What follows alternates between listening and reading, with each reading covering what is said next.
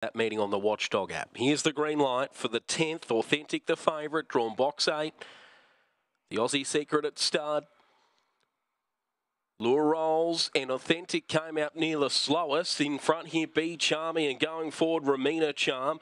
And then followed by Zaza being round the outside, Authentic making ground. And then Aussie's Risk, followed by further back to Summer Sparkle and Lily Stripey. But into the straight now, and Authentic's taken over. Gets down towards the inside and burns away the favourite. Authentic won it from in second spot, Be Charming.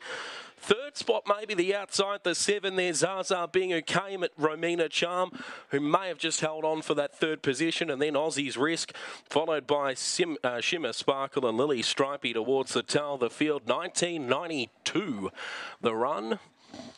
1992 for Authentic, who after the slow getaway got really into his work around the J curve turn. When they straightened up, he came from the outside down to the inside rail, put them away quite nicely. Eight, six, seven, four, the numbers on the 10th.